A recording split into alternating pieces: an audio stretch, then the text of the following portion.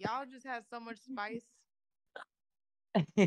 Yeah, well, everybody Y'all can't be from- one spicy. the- you're It's one of the balance. Spiciest y'all people I've ever met. Arizona. We don't have no culture. My stuff is bland. Oh my god. really? Okay, I need all my Arizona people to tap in because sis said y'all don't got no spice. That's don't. true. That's not true, Smo. You are one of the spiciest people I know. No, but I'm saying just like as far as our culture, our radio culture, like if you go to any other city and listen to their radio, it's like a culture shock.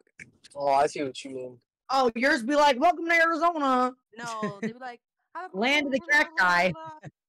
They say, uh, what's it called? Nueve ocho punto tres. Number one music station in Florida. Oh, you